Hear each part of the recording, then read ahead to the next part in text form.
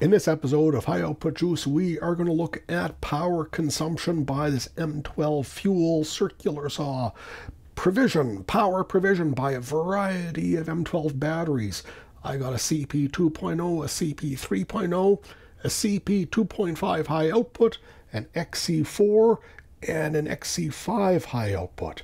Now, since earlier videos, I've added an extra CP2 to my collection. I got a new one, the one from previous tests. It was a little bit on the way out. I'm going to test it again anyways, because it is a uh, typical battery that's, well, maybe about halfway through its lifespan. Now, in order to evaluate how much power this tool is consuming, uh, how much power is being provided by these batteries, I'm going to use my M12 line splitter that you use with a clamp meter, and that gives real-time current draw by the tool. Now, in addition to that, I can hook up a multimeter, and the multimeter is going to allow us to measure voltage of the battery. A voltage times current gives us power in watts. Now, in order to give this tool a bit of a workout, rather than the stock 16 tooth blade, I have here a 36 tooth finish blade, and we're going to do a maximum depth cut into this rather, rather hard block of uh, maple. I'll let the tests commence. Can you believe I did a full set of tests and I forgot to roll the camera? Anyways, let's test again for the first time. I got volts here, I got amps there. I threw a tachometer into the mix, and the first battery up is a CP 2.0. It's my older battery. Notice that the starting voltage is a little bit on the lower side. Full depth cut.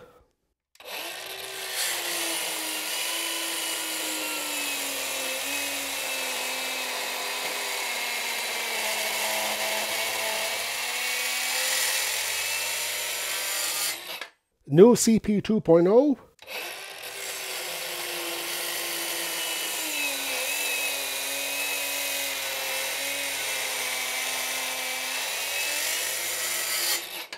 CP 3.0.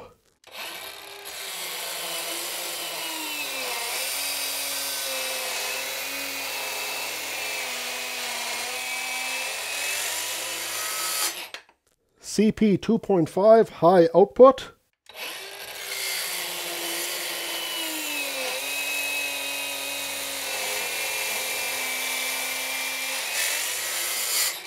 XC 4.0.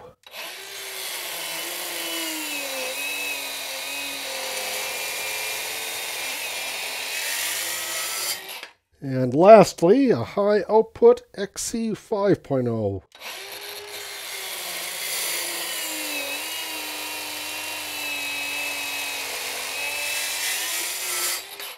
and the results are in. Starting voltage, a little bit more variable this time than my previous tests. I think that's just because some of these batteries aren't fully charged and they're not discharged enough that the charger is recognizing that fact and, uh, well, it's not initiating a charge cycle. The one exception would be the CP 2.0, my older battery. Uh, this one I did a couple discharges on it, enough so that the charger would recognize it and, then and, and do a cycle. I never got this one above 12 volts. It's one of my older batteries, but I threw it in the test for a real world case scenario of a typical typical sort of a battery.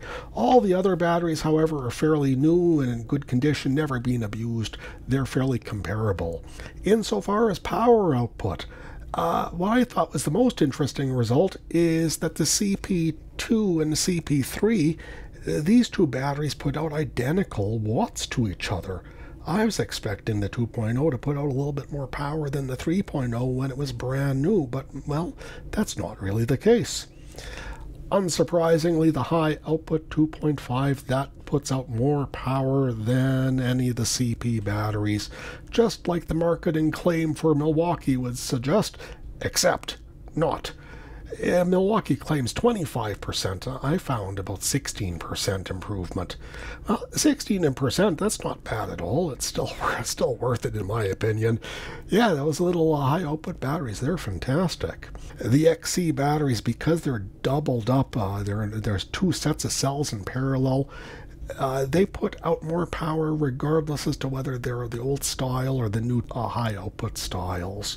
However, the high output definitely does put out more power than the 4.0. It has better cells. Uh, cells are able to put out more more amps at a time, and because of that, this high output put out about 10% more watts.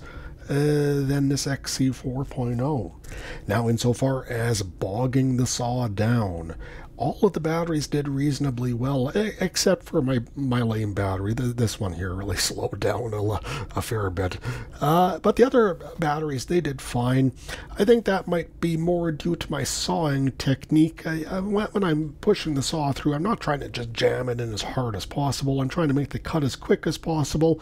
I guess I'm listening to the saw, and I, I'm, I'm listening to the speed of the saw, that it's not bogging down too much, and maybe maybe that's these results are more due to my own technique than anything else. Time, the time to get the cut done, those results are pretty valid in my opinion because they match uh, the power output of these cells to the saw. They match it exactly, well, except in inverse, with the smaller batteries taking a little bit longer, the higher output being a little bit quicker, the XC being faster, and the XC high output ruling the roost and getting the job done as quick as possible. Anyways, thanks for watching. I hope you found this useful. Take care, and bye bye.